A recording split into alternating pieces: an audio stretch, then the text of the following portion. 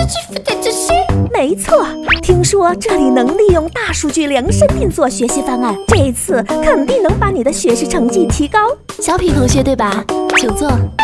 你怎么知道我的名字？我们掌握了海量大数据，知道的东西可不止这些呢。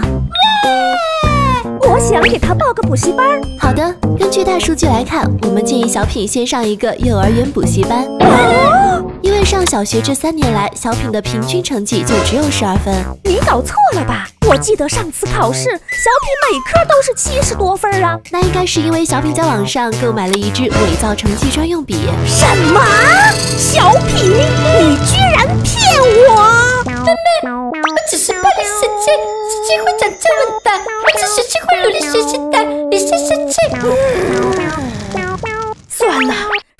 也没用，那就先给我们报那个复习班试试看吧。没问题，现在报班，我们还会赠送一份量身定做的高科技文具，这是纳米纤维防水笔记本。